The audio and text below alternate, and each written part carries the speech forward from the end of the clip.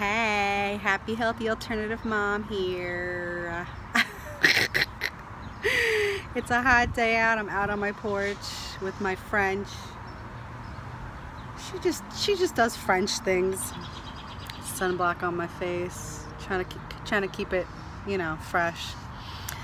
Um, so yeah, I put out a video earlier today about just liking what you like not being embarrassed or feeling like you have to answer to anybody else for liking things that maybe, you know, you might get made fun of about. Basically just once again being happy within your own skin. So right now I kind of want to talk about something because I had a little idea um, thinking about the sad, sad travesty. Oh, let me sneeze.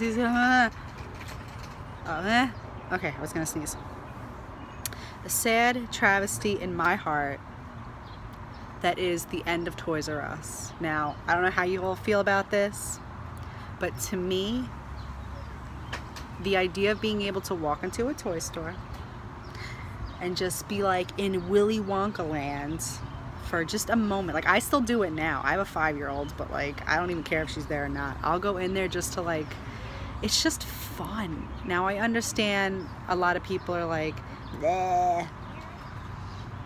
Toys R Us is too expensive. Commercialism, plastic, all this stuff. I get it.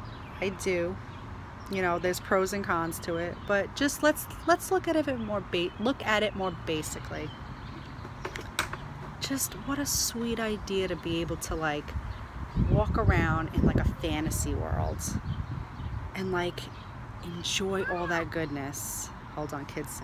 Why? What'd you say? I see a caterpillar that's green. Okay, don't touch it. Just look at it. Finding bugs. Don't hurt it either, okay? No, they don't bite, but they could have like disease or something. Just don't. Just look at him. What's a disease? A disease is not good. Just just look at him and don't hurt him, okay? Anyway, where was I? Yeah, make him a home. That's a great idea. So like, come on. Like, how nice is it to like reward your kids? And like, I get it. Other stores like Walmart, Target, Toys R Us. I mean, not Toys R Us. Other places sell toys, but like, think about what Christmas is going to be like this year, or any holiday or any birthday. Well, I'm just going to use Christmas as an example, whether you celebrate or not. Just think, just think of, like, do you really think Amazon and Target are going to be able to handle, like, Black Friday? Like, I hope they give more jobs to UPS workers and FedEx workers because, holy crap, are they really going to be able to handle that? Okay, caterpillar catastrophe. Sorry. Anyway, so um, ugh, losing my train of thought about this caterpillar going on over here. Just making him a home. Oh. Anyway, so you know that's one thing I thought of like what is going to be the craziness come the end of the year. Now again, commercial society, I get it, but at the end of the day, a lot of people in America partake in that event. Christmas, Black Friday, not even Christmas, Hanukkah, whatever you celebrate. I'm gonna say the holidays in general, right? Birthdays. I mean, if you don't celebrate birthdays, then you not have to worry about it. But let's just not get so PC about everything. Let's just look at it as, as a whole. Like, just in general, like your kid gets a great report card and you want to reward them. You want to buy them something. I mean, yeah, I guess just order it online, but then you're returning stuff, you gotta wait for it. Like, just that every once in a while we want that instant gratification, right? We want sweets, we go get ice cream. We're craving like some salty meat, we go get some barbecue ribs, you know, whatever your thing is, you know. Tofu, you know, we love the vegetarians too, we're all good. But um, just let's let's stay on track like that whole aspect of like not being able to like rummage around a toy store like for me like i'm a freaking toys r us kid like i want that and mind you another aspect of all of this is i don't let my daughter watch commercials okay We watch PBS, we watch Netflix, but she doesn't watch like Disney Channel, Nick Jr. Very rarely do I put that kind of stuff on. One, because it's not as educational, in my opinion. And I, you know, I don't like the idea of commercials. I think that it just kind of beats things into your kid's head. Boring for a young mind. And some of the shows on those other channels, you know, they're, although fun and entertaining, they're a little mindless, in my opinion. Um, and it's not just my opinion, it's the opinion of, you know, I'm sure a bunch of us out there. But there's nothing wrong with Nick Jr., nothing wrong with Disney Channel. My daughter's just really young still, so I choose this. That's what I choose as a parent.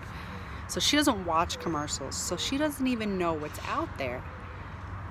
So all her little friends do.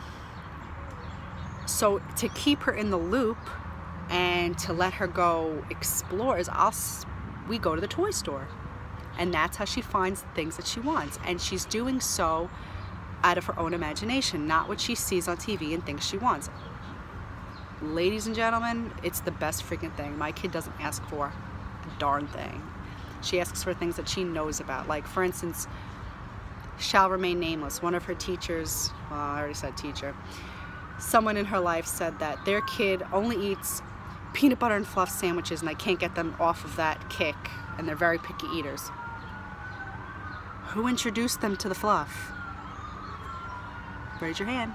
You know, they're only going to, you know, and it's not sheltering them. It's just when they're that little, you're still in charge. Like you don't have to put other people in charge, you know, TV, commercials, teachers, whatever the case may be. You're still the parent at the end of the day.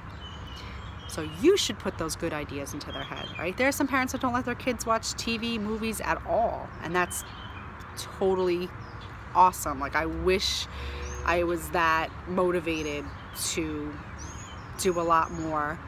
But you know it just it is what it is. It's we live in America and a lot of parents let their kids watch TV and either way there's nothing wrong with either decision.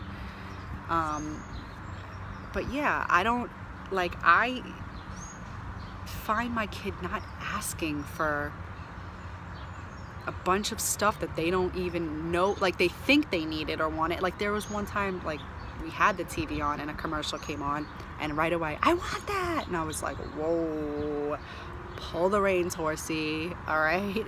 like, wow. I like whoosh, dodged a bullet with that one, in my opinion, for my family. So I just chose that route and it is nice. But the point is that now there's no toy store. So where are we going to go to like look around and choose what we want, choose you know, I mean, Target, whatever, Walmart, but it's not as, eh, you know, how are you supposed to pick toys and there's like an automotive section or vacuum department? Like, it's just not the same, you know? And I don't know. I feel like some people might feel this way too.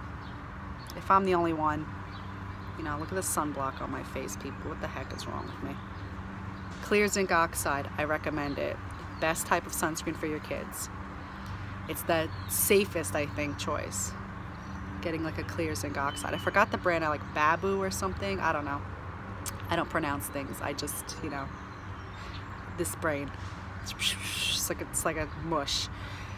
But um, yeah, so basically what I'm saying is I miss Toys R Us. We don't watch commercials. Having a little bit of a meltdown about it. and um, yeah, I mean, is it the end of the world? No life goes on. Just move on. Don't judge me. I don't judge you. But, oh wow, she is making a home for this caterpillar. It's like a freaking mansion. There's at least five bedrooms and three bathrooms, I'm telling you. Chef's kitchen. Mm, marble backsplash, love it. Good job, babe. Anyway, you have yourself a beautiful day. Once again, you look stunning today. Let's see how many videos I can go with this nail polish. Just saying. Bring back Toy Stars. All right.